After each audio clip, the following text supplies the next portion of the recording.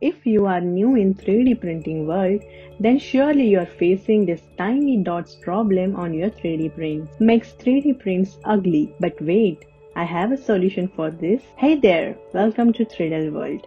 This issue is caused by seam. Seam means a nozzle starting point from where print layer starts. So you can't remove this seam, but you can hide this. To solve this issue in Cura, go to Shell panel and click on setting icon. Now turn on the Z seam alignment. Click on the Z seam alignment. If your model is in curve shape, then turn on the shortest mode. And in seam corner preference, select smart hiding option. If your model have sharp corners, then select Z seam alignment to sharpest corner and seam preference is smart hiding. Now you will get a seamless smooth surface on your 3D print. It and comment down what you want next.